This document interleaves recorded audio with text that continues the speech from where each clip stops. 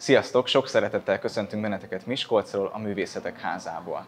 Este 6 órakor fog kezdődni az Ignác Musicalnek a díszbemutatója, és most néhány pillanatképet szeretnénk hozni, hogy hogyan készülnek a diákok az előadásra. Tartsatok velünk!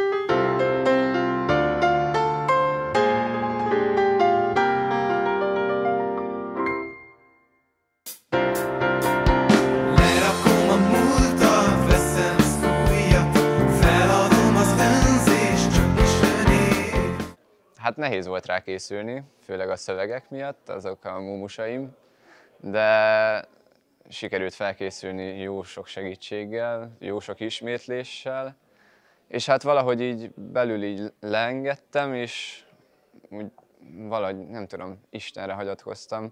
nem, nem, nem számítottam arra, hogy tizedikesként kapok azért egy ilyen nagy szerepet.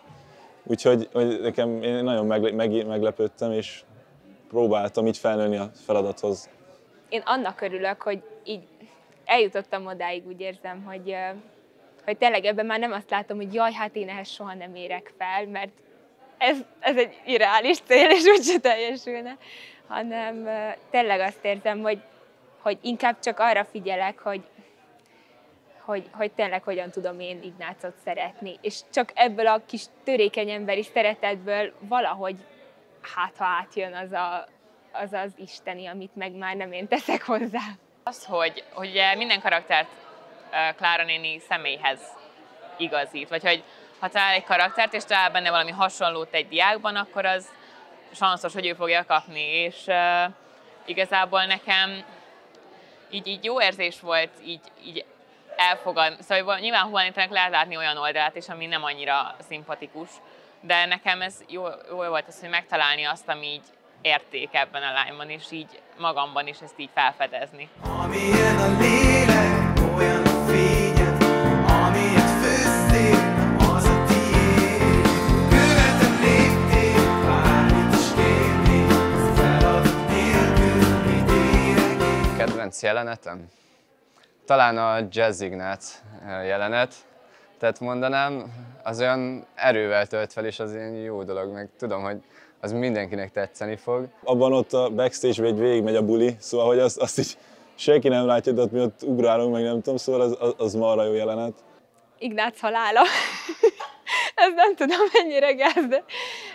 És olyan jó, mert akkor még így csöndbe is kell lenni, és csak így nézek, és így olvad el a szívem. Úgyhogy egyértelműen Ignác halála. amikor Ignác megtér, vagy a, amikor énekli, kijön a pokolba és énekli, hogy áld már jó rendei, az nekem mindig kicsit egy ilyen istenélményszerű egyébként, mert az egyszerűen gyönyörű szerintem.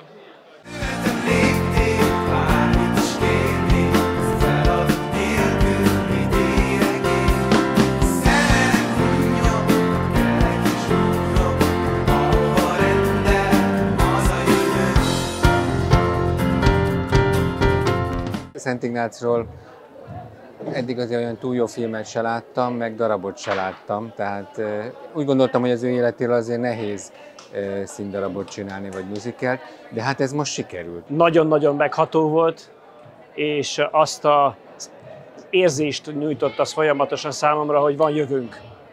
Hogy ennyi ember hitelesen ki tud állni, és egy ilyen komplex, nagyon-nagyon nehéz témát feldolgozni úgy, hogy élvezhető számomra, művészeti szempontból is élvezhető, lelkiségi szempontból nagyon-nagyon szépen át tudták adni azt az üzenetet, amit ez az élet, Ignácnak az élete tartalmaz. Tehát számomra ez a jövőt jelenti, a jövőt üzeni.